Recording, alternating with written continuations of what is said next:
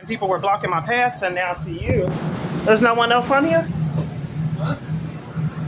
Who are you? I'm up to wait this train. Uh, are you security? Yeah. Oh, okay. I just get stopped.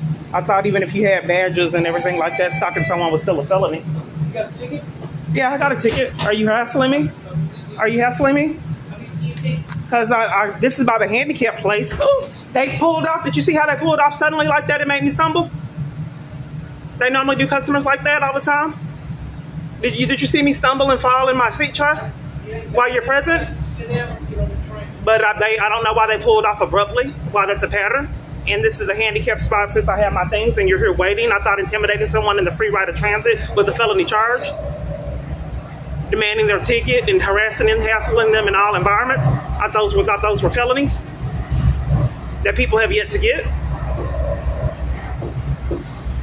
Waiting every turn they make for conflict, year after year with no accountability. I thought the FBI investigated something like that. When are they going to do it?